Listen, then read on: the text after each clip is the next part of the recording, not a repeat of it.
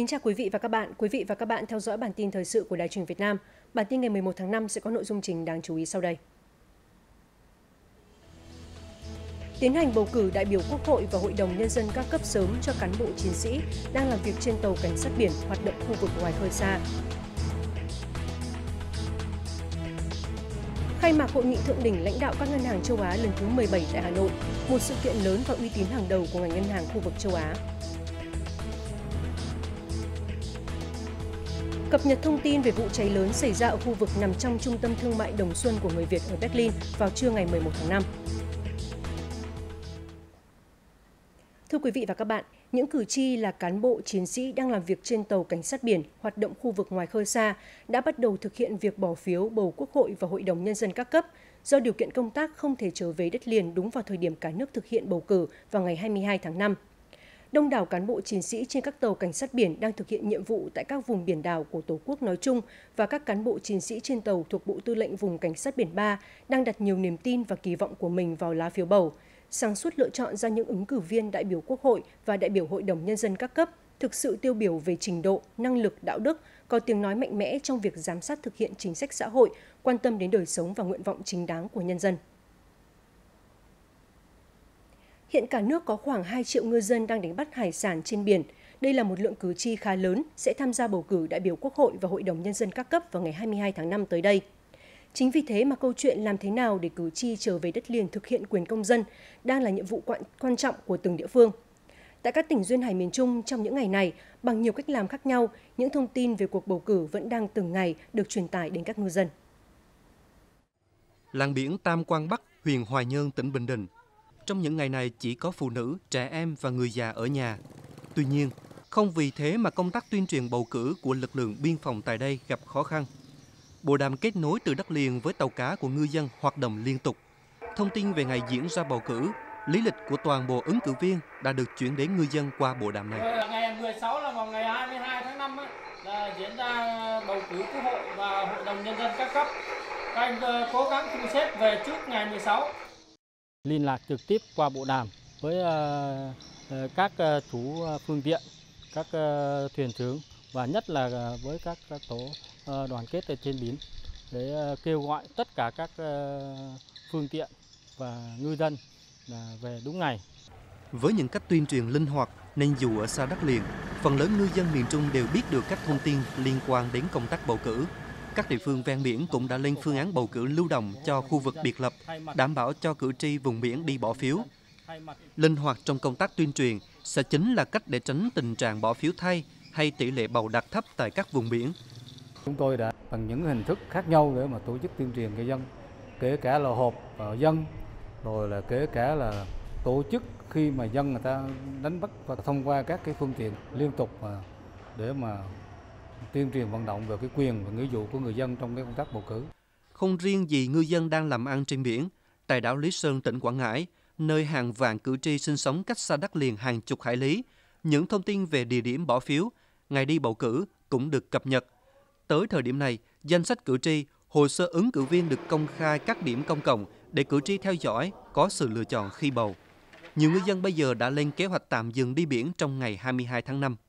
Dứt khoát là phải đến nhà bầu cử là phải ở dù ở xa mấy cũng phải trở về để bầu cử cho xong rồi mới, mới, mới, tiếp tục trên hành trình biến lợi. Để thực hiện tốt quyền cái nghĩa vụ trong ờ, bầu cử thì chúng tôi đã tổ chức tuyên truyền sớm và có cái thông tin cái lịch coi như là vào cái thời gian bầu cử để cho các ngư dân mà đi đánh bắt ờ, giờ ngày xa và ờ, giờ ngày trên biển thì có cái thời gian để về đảo để mà thực hiện cái nghĩa vụ và cũng như những người làm ăn xa. Dịp bầu cử trùng với mùa cá chính trong năm, việc bà con ngư dân tham gia tích cực bầu cử không chỉ phụ thuộc vào công tác tuyên truyền mà còn phụ thuộc vào ý thức, trách nhiệm của chính ngư dân. Và tất nhiên, họ sẽ có trách nhiệm với lá phiếu của mình nếu các đại biểu được bầu làm tròn trách nhiệm mà người dân đã tin tưởng trao cho họ. Trong những ngày này, 870 người chính thức ứng cử đại biểu Quốc hội trên địa bàn cả nước đã bắt đầu chương trình tiếp xúc cử tri, vận động tranh cử cho kỳ bầu cử Quốc hội khóa 14. Một vấn đề đặc biệt được dư luận quan tâm đó là làm sao đảm bảo sự bình đẳng giữa các ứng cử viên trong thực hiện vận động bầu cử theo luật định. Tại một đơn vị bầu cử của thành phố Hà Nội, phóng viên của chúng tôi đã ghi nhận chương trình vận động tranh cử của các ứng viên với sự giám sát của Mặt trận Tổ quốc nhằm bảo đảm tính dân chủ và sự bình đẳng trong quá trình vận động bầu cử của các ứng viên. Bà Bạch Tố Uyên, người dân tộc Mường, ông Hoàng Trung Hải, Ủy viên Bộ Chính trị, Bí thư Thành ủy Hà Nội. Họ đều là những ứng cử viên trong cuộc bầu cử Quốc hội tới đây. Dù là nam hay nữ, chức vụ cao thấp rất khác nhau. Nhưng trong cuộc tiếp xúc cử tri vận động bầu cử này, họ đều chỉ có từ 5 đến 7 phút để trình bày trước cử tri về chương trình hành động của mình nếu đắc cử. Chúng tôi sẽ phát hiện những cái trường hợp ờ, mà không thực hiện theo đúng quy định của luật thì chúng tôi sẽ có những giải pháp tiến hành nhắc nhở để tiến hành ờ, trao đổi để chúng ta thực hiện một cách nó nó đúng luật thôi mà khi đã đúng luật rồi thì nó sẽ là sẽ là công bằng cũng bình đẳng với nhau trước pháp luật trong công tác vận động và tất cả các ứng cử viên cũng đều như vậy là thể hiện cái vai trò trách nhiệm của mình và có những các cái chương trình hành động cụ thể trước cái hội nghị ứng cử viên. Tổng Bí thư Nguyễn Phú Trọng tranh cử đại biểu Quốc hội ở khu vực bầu cử số 1 thành phố Hà Nội. Trong cuộc tiếp xúc cử tri này, thể hiện sự kính trọng đối với lãnh đạo cấp cao của Đảng, ban tổ chức và cử tri đều nhất trí mời Tổng Bí thư trình bày trước chương trình hành động của mình. Tuy nhiên, Tổng Bí thư đã đề nghị ban tổ chức thực hiện theo quy định của luật. Thứ tự phát biểu sẽ là theo vần alphabet. Có thể là người ta thể hiện cái tính trân trọng đối với lãnh đạo tối cao. Cho nên là mời Tổng Bí thư lên đầu. Nhưng mà thực ra mà nói để thực hiện cái sự công bằng ấy là phải sắp xếp theo A, alphabet tức là ABC đó. Cho nên là à, ngài tổng bí thư có cái từ chối thì cũng có lý do. Xét về mặt luật pháp thì anh phải công bằng anh phải xếp theo alphabet. Và AB thì vầng T thì không thể là, là lên đầu tiên được. Ứng cử viên có nhiều người là doanh nghiệp thành đạt, giàu có. Nhiều ứng cử viên khác lại là nông dân, công nhân, công chức thì điều kiện kinh tế khó khăn hơn. Xét thấy yếu tố giàu nghèo có thể tác động sai lệch đến kết quả bầu cử, luật đã quy định cấm nhiều hành vi như cấm hứa, tặng, cho, ủng hộ tiền tài sản hoặc lợi ích vật chất để lôi kéo mua chuộc cử tri. Vi phạm các điều cấm này, ứng viên có thể bị xóa tên khỏi danh sách ứng cử. Các ứng cử viên được vận động trên cơ sở đề nghị với mặt trận Tổ quốc và ban mặt trận Tổ quốc ở nơi mình ứng cử. Chứ không thể cứ một mình tư cách cá nhân. Đây tôi nói luôn là trường hợp à, Quốc hội khóa 12 có một ứng cử viên là làm không đúng với quy định của pháp luật. Người thân của ứng cử viên đó đi vận động là đồng thời là nói tóm lại là mua chuộc cử tri bằng cái lá phiếu của cử tri. Tôi nói là là trái luật hoàn toàn. Bầu cử đại biểu Quốc hội cũng như Hội đồng Nhân dân đề cao tiêu chí đức và tài sự công bằng trong tổ chức vận động bầu cử sẽ giúp cho cử tri dễ dàng hơn trong việc nhận biết và lựa chọn đúng đại biểu của mình. Sáng ngày 11 tháng 5, Hội nghị thượng đỉnh lãnh đạo các ngân hàng châu Á lần thứ 17 đã khai mạc tại Hà Nội. Việc lựa chọn Việt Nam lần thứ hai đăng cai hội nghị, một sự kiện lớn và uy tín hàng đầu của ngành ngân hàng khu vực châu Á, đã khẳng định sự ghi nhận của cộng đồng quốc tế đối với sự phát triển năng động của nền kinh tế Việt Nam nói chung và hệ thống ngân hàng Việt Nam nói riêng. hơn 1.000 đại biểu là lãnh đạo cấp cao của các tổ chức tài chính, ngân hàng thương mại đến từ hơn 30 quốc gia khu vực châu Á và các nước có nền kinh tế phát triển đã thảo luận về những vấn đề mà ngành ngân hàng đang đối mặt như rủi ro lãi suất, rủi ro tín dụng, các biện pháp chống rửa tiền qua ngân hàng. Đối với Việt Nam thì đây là cơ hội để ngành ngân hàng tham khảo các kinh nghiệm trong việc xử lý những thách thức và rủi ro khi hội nhập sâu hơn vào nền kinh tế khu vực và thế giới. Phát biểu khai mạc hội nghị, Thủ tướng khẳng định chính phủ Việt Nam tiếp tục đổi mới toàn diện nền kinh tế, thực hiện nhất quán mục tiêu kiểm soát lạm phát, ổn định kinh tế vĩ mô, đẩy mạnh tái cơ cấu kinh tế gắn với chuyển đổi mô hình tăng trưởng, nâng cao năng suất, hiệu quả và sức cạnh tranh để hội nhập quốc tế hướng tới phát triển bền vững. Chính phủ Việt Nam cam kết tạo mọi điều kiện thuận lợi nhất cho các nhà đầu tư, luôn đồng hành cùng các nhà đầu tư tháo gỡ những khó khăn vướng mắc để thành công. Nhấn mạnh thành công của các nhà đầu tư cũng chính là thành công của Việt Nam và Việt Nam luôn sẵn sàng hợp tác vì một cộng đồng châu Á và thế giới vững mạnh, ổn định và thịnh vượng. Ngày 11 tháng 5 tại trụ sở Bộ Ngoại giao, Phó Thủ tướng Bộ trưởng Bộ Ngoại giao Phạm Bình Minh đã hội đàm với Bộ trưởng Ngoại giao và Hợp tác Quốc tế các tiểu vương quốc Ả Rập Thống Nhất Sheikh Abdullah bin Zayed Al Nahyan. Tại hội đàm, hai bên khẳng định sẽ tăng cường tiếp xúc các cấp, đẩy mạnh hợp tác giữa hai bộ ngoại giao, định kỳ tổ chức tham vấn chính trị, tiếp tục phối hợp chặt chẽ và ủng hộ lẫn nhau tại các diễn đàn và tổ chức khu vực và quốc tế. Hai bên cũng nhất trí nghiên cứu tăng cường và mở rộng hợp tác trong các lĩnh vực tiềm năng như lao động, an ninh, năng lượng, ngân hàng, du lịch và nông nghiệp.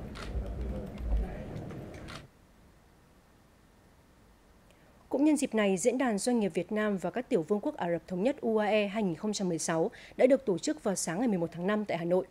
UAE hiện là thị trường xuất khẩu lớn thứ bảy của Việt Nam và cũng là thị trường quan trọng nhất của Việt Nam tại khu vực Trung Đông Bắc Phi. Khoảng 100 doanh nhân đại diện cho các doanh nghiệp của hai nước đã tham dự sự kiện. NAFCO là tập đoàn lớn nhất về thiết bị và các giải pháp phòng cháy chữa cháy tại các tiểu vương quốc Ả Rập Thống Nhất, xuất khẩu sang hơn 100 quốc gia trong đó có Việt Nam. Tham dự diễn đàn doanh nghiệp Việt Nam UAE 2016, tập đoàn này hy vọng đẩy mạnh hợp tác với Việt Nam. Chúng tôi giúp thiết kế hệ thống phòng cháy chữa cháy cho các công trình tại Việt Nam. Sau đó, hỗ trợ chặt chẽ trong quá trình lắp đặt, vận hành và bàn giao cho người sử dụng. Việt Nam đang phát triển rất mạnh và là một thị trường tiềm năng của chúng tôi. Diễn đàn doanh nghiệp lần này thu hút sự tham gia đông đảo của nhiều tập đoàn lớn của UAE trong các lĩnh vực như là dầu khí, bất động sản, vật liệu xây dựng và đặc biệt là nông sản thực phẩm. Đây là cơ hội để kết nối doanh nghiệp hai nước và để hàng hóa sản phẩm của Việt Nam có chỗ đứng vững chắc hơn ở thị trường UAE, thị trường xuất khẩu lớn thứ bảy của Việt Nam. Năm 2015, kim ngạch thương mại giữa Việt Nam và UAE ước đạt 6,2 tỷ đô la, trong đó xuất khẩu của Việt Nam đạt 5,7 tỷ. Quốc gia này là thị trường xuất khẩu lớn, đồng thời là một cửa ngõ quan trọng để hàng hóa Việt Nam đến với khu vực Trung Đông và Bắc Phi có dân số hơn 2 tỷ người. Tại diễn đàn này, các doanh nghiệp Việt Nam đã có cơ hội trực tiếp gặp gỡ, trao đổi thông tin và thiết lập quan hệ với nhiều tập đoàn doanh nghiệp lớn của UAE. Khi mà chúng tôi mở rộng sang thị trường xuất khẩu sang ở bên Dubai và Trung Cộng Đông ấy, thì điều chúng tôi cần phải tìm hiểu đó là cái, cái tập quán văn hóa và những cái cái cái cái, cái, cái thủ tục ờ, xuất nhập hàng ở bên đó như thế nào thì cái này chúng tôi hoàn toàn không có thông tin. Trong cơ cấu xuất khẩu của Việt Nam sang UAE, điện thoại di động và linh kiện tiếp tục là mặt hàng xuất khẩu chủ lực, chiếm 79% tổng kim ngạch xuất khẩu của Việt Nam. Ngoài ra, các sản phẩm khác như vật liệu xây dựng, nông sản thực phẩm, thủy hải sản và hàng tiêu dùng cũng ngày càng được ưa chuộng tại thị trường này. Đây đều là những nhóm sản phẩm có triển vọng tăng trưởng xuất khẩu cao trong thời gian tới. Vừa rồi thì chúng tôi đã đẩy rất mạnh cái chuyện đem hoa quả tươi và hàng nông sản chế biến của Việt Nam sang UAE. Thì chúng tôi có dẫn một số những cái tập đoàn siêu thị lớn vào tiếp xúc với Việt Nam. Thế rồi nông sản của chúng ta như là Thanh Long bây giờ là hoàn toàn chiếm lĩnh thị trường. Đấy là một cái tin rất vui. Chúng tôi đã nhập khẩu cá, hạt tiêu, gia vị, hoa quả tươi và rau củ của Việt Nam để bán trong hệ thống siêu thị của chúng tôi. Nông sản, nhất là hoa quả Việt Nam có chất lượng rất tốt. Hiện nay, chúng tôi đang thương lượng và tìm kiếm các nhà cung cấp để nhập trà hương sen và các loại trà khác của Việt Nam. Trong năm 2016, Việt Nam và các tiểu vương quốc Ả Rập Thống Nhất đặt mục tiêu kim ngạch trao đổi thương mại đạt 7 tỷ đô la, trong đó kim ngạch xuất khẩu đạt 6,5 tỷ đô la.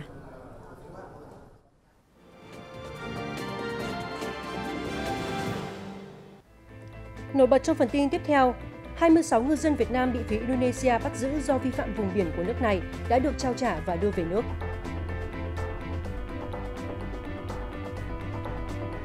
Những năm qua tại đồng bằng sông Cửu Long đã có hàng trăm cô dâu lấy chồng Đài Loan, Trung Quốc và Hàn Quốc bỏ trốn về nước khi chưa ly hôn. Cuộc sống của những đứa con theo mẹ về nước cũng gặp rất nhiều khó khăn. Thưa quý vị và các bạn, một vụ cháy lớn đã xảy ra ở khu vực nằm sát cạnh trung tâm thương mại Đồng Xuân của người Việt ở Berlin vào trưa ngày 11 tháng 5. Để có thông tin cụ thể hơn, chúng tôi đã nối cuộc điện thoại với ông Nguyễn Huy Thắng, tổng biên tập báo người Việt à, báo Việt Đức.de đang có mặt tại hiện trường. Mời quý vị và các bạn cùng theo dõi. Xin anh cho biết những cái tình hình mới nhất xung quanh vụ cháy diễn ra à, ngay cạnh trung tâm thương mại Đồng Xuân tại à, thủ đô Berlin, Cộng hòa Liên bang Đức, nơi mà có rất là nhiều người Việt Nam đang kinh doanh buôn bán tại đó. Là hiện nay chúng tôi đang có mặt ở trong trung tâm thương mại Đồng Xuân. À, nói là trung tâm thương mại Đồng Xuân bởi vì ở khu vực đấy người ta vẫn quen gọi đấy là trung tâm thương mại Đồng Xuân. Nhưng mà cái khu vực cháy thì lại không phải là chính trung tâm thương mại Đồng Xuân vì nó ở bên cạnh. Đấy là một khu vực nhà kho. Cái kho này là của ông tổng giám đốc trung tâm thương mại Đồng Xuân đã cho một công ty người thổ và họ đã thuê lại công này đã cái kho này đã từ lâu năm và uh, trong quá trình thuê thì họ sử dụng không hết. Đấy lại cho tiếp tục những người Việt Nam mà có cái nhu cầu là thuê kho để mà chứa hàng trong đấy cho nên họ là người Việt Nam mà thuê lại. Uh, con số mà hiện nay chúng tôi biết được rằng là trong khoảng là 20 uh, ờ, cái cửa hàng của người Việt Nam uh, đã có cái kho hàng ở trong khu vực này. Và ngọn lửa bốc cháy vào khoảng lúc 11 giờ 15 phút. Cho đến giờ phút này uh, vẫn còn cháy âm ỉ ngọn lửa chưa tắt như vậy là thời gian cháy rất dài và lượng hàng ở trong nó rất lớn. Chúng tôi đã có mặt ở nơi đây và chúng tôi đã gặp đại sứ Đoàn Xuân Hưng, đại sứ của Việt Nam tại Cộng hòa Liên bang Đức đã cũng có mặt ở trong khu vực này cùng một số cán bộ của đại sứ quán xuống để xem tình hình cháy hiện đang và chia sẻ những mất mát uh, của với với bà con người Việt Nam. Uh, ở trong những người Việt Nam hiện nay có những cái gia đình, có những cửa hàng rất là lớn, họ với nhập 20 công ty hàng 20 công container hàng vừa mới về được hai ba hôm nay và cái số hàng hóa đấy chưa được tiêu thụ bao nhiêu cả thì đã bị cháy rụi trong khoảng một vài tiếng đồng hồ. Cái khu vực cháy này là khu kho, một cái nhà kho rất lớn, cũng tương đối là lớn do một người thổ làm phụ trách. Thế còn cái khu mà buôn bán thì nó tách ra đấy vào khoảng độ vài trăm mét thì như vậy là toàn bộ cái khu vực buôn bán là không ảnh hưởng gì ngọn lửa cháy bốc vào. Và khi ngọn lửa bốc cháy xong thì cảnh sát có thể huy động tới hàng trăm xe cứu hỏa và xe cảnh sát bao vây toàn bộ khu vực đấy để khống chế khống chế ngọn lửa này. Ngày hôm nay là toàn bộ khu vực đấy đã bị khống chế và cảnh sát phong tỏa hoàn toàn. Cho nên là người ra mua bán hàng ở đấy là vào rất ít, chỉ những người mà làm việc trong đấy khi mới được ra vào, còn lại những người khác không được ra vào. Cho nên là cuộc sống ngay khi ngọn lửa bốc cháy ra đã ảnh hưởng với toàn bộ khu vực đấy bị phong tỏa. Còn đối với những gia đình mà họ có cái kho hàng ở gửi dưới đấy thì đấy là thiệt hại rất lớn bởi vì kho thì lớn mà cửa hàng thì nhỏ. Cửa hàng chỉ là nơi buôn bán còn kho mới là cái quan trọng nhất để ta chứa hàng để cung cấp cho hàng ngày để cung cấp đi khắp nơi. Chuyển sang các thông tin khác, theo các cơ quan chức năng Việt Nam, đến nay Đài Loan Trung Quốc đã có hơn 120.000 cô dâu Việt Nam và tại Hàn Quốc, con số này đã lên đến 52.000 và còn tiếp tục gia tăng. Hiện tượng xã hội này là rất đáng để chúng ta nhìn lại, đánh giá, nhất là ở nhiều nơi diễn ra tình trạng những cô dâu Việt Nam bị lạm dụng ngược đãi. Những bất hạnh do họ gặp phải đã khiến cho những năm qua, các tỉnh khu vực đồng bằng sông Cửu Long tiếp nhận hàng trăm cô dâu bỏ trốn về nước, trong khi những thủ tục ly hôn của họ vẫn chưa được thực hiện.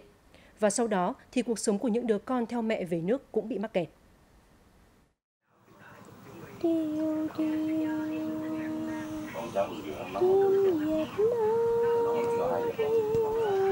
Khúc hát du chỉ những năm làm dâu xứ người chị mới hiểu. Cách đây 2 năm, chị xin gia đình chồng về thăm nhà, sau đó không quay trở lại. Chị chấp nhận bỏ lại cô con gái 5 tuổi. Cô con gái với người chồng sau, chị không thể khai sinh vì trên giấy tờ chị vẫn đang có chồng là người nước ngoài. Những đắng cay suốt 6 năm chỉ có thể giấu trong giọt nước mắt. Bỏ con thì không nỡ, à, ở bển cũng không được. Mình quyết lòng đi lấy chồng nước ngoài, em đổi đời, em giúp gia đình.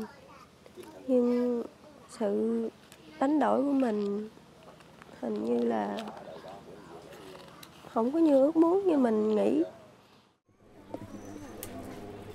Sau đám cưới, hai chị em chị Oanh nhận mỗi người hai chỉ vàng và 3 triệu đồng. Đám cưới không tình yêu, qua môi giới, có 22 chú rể và 22 cô dâu. Người đàn ông chị lấy làm chồng hơn chị 25 tuổi. 5 năm sau, cả hai chị em trở về với hai đứa trẻ.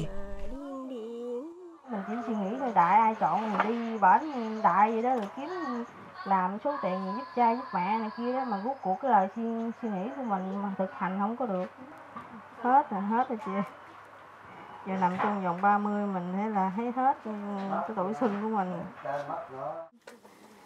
Chữ là đánh đập này kia em cũng nhịn. Chứ sao giờ bán mình có mình mình sao mình nằm lại bán được? Em cũng nhịn thôi bỏ. Sao mình nằm lại? Mà bán dữ lắm chứ em chịu không nổi mấy về này hỏi đây luôn. Theo Trung tâm Chính sách Nhân quyền Liên Hợp Quốc của Hàn Quốc tại Việt Nam, việc không ly hôn được sẽ bịt lối làm lại cuộc đời của những cô dâu này. Hàng trăm trường hợp đã tìm đến trung tâm xin trợ giúp. Tuy nhiên, thực tế, việc liên lạc và có được sự đồng ý của những người chồng không dễ dàng. Phần lớn đều kết hôn thông qua tổ chức cá nhân trung gian môi giới và thủ tục liên quan được các cá nhân và tổ chức này đứng ra thực hiện thay, chi phí được người chồng chi trả. Bên cạnh đó thì thủ tục ly hôn giữa Việt Nam và Hàn Quốc đòi hỏi những giấy tờ khác nhau. Vấn đề này đòi hỏi cần có sự tương trợ tư pháp giữa hai nước và tôi hy vọng các biện pháp cần thiết sẽ sớm được triển khai. Các chị đều nói rằng con là ánh sáng duy nhất lúc này của cuộc đời họ. Em luôn vui vẻ là em vui rồi. Trung tâm Chính sách Nhân quyền Liên Hợp Quốc của Hàn Quốc đã đề nghị các cô dâu này liên lạc và ủy quyền cho trung tâm tại Cần Thơ để nhân viên của trung tâm tại Hàn Quốc đến tòa án, nơi giải quyết ly hôn tại Hàn Quốc, lấy các giấy tờ cần thiết chuyển về Việt Nam cho họ. Trong trường hợp các cô dâu tự ý bỏ về và người chồng cũng chưa đưa đơn ly hôn ra tòa tại Hàn Quốc, Trung tâm Chính sách Nhân quyền Liên Hợp Quốc của Hàn Quốc sẽ giúp họ các giấy tờ để tiến hành thủ tục ly hôn đơn phương tại Việt Nam. Còn trước tình trạng các trẻ em nhỏ là con của những phụ nữ người Việt Nam với người nước ngoài khi trở về nước gặp khó khăn trong việc thực hiện các quyền lợi của trẻ em, Bộ Lao động Thương binh và Xã hội vừa có công văn yêu cầu Ủy ban Nhân dân các tỉnh, thành phố Trung ương báo cáo tình hình trẻ em là con của phụ nữ Việt Nam kết hôn với người nước ngoài trở về nước trước ngày 1 tháng 6. Trong đó cần nêu rõ số trẻ em đã đăng ký khai sinh ở nước ngoài nhưng chưa nhập quốc tịch Việt Nam, số trẻ em chưa được đăng ký khai sinh tại Việt Nam, số trẻ em chưa được đi học đúng độ tuổi. Đây là căn cứ để chuẩn bị cho việc phối hợp với các bộ ngành có liên quan nghiên cứu, đề xuất giải pháp và hướng dẫn giải quyết tình trạng này trước mắt cũng như lâu dài. Bộ Lao động Thương binh và Xã hội cho biết những vướng mắc này mới phát sinh tại một số tỉnh, thành phố trực thuộc Trung ương, đặc biệt là các tỉnh, thành phố ở khu vực đồng bằng sông Cửu Long.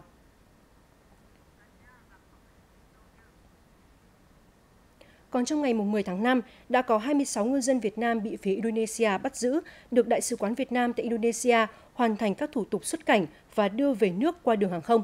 Như vậy là trong năm nay, đã có hơn 100 ngư dân Việt Nam được Indonesia trao trả về nước. Phóng viên VTV4 cũng đã có cuộc trao đổi với ông Hoàng Anh Tuấn, Đại sứ Việt Nam tại Indonesia để tìm hiểu rõ hơn về thông tin này.